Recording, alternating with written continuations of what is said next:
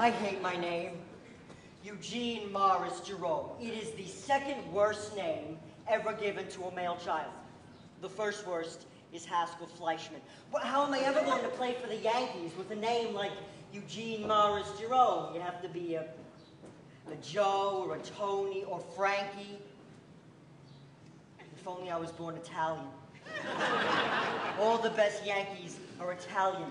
My mother makes spaghetti with ketchup. What chance do I have?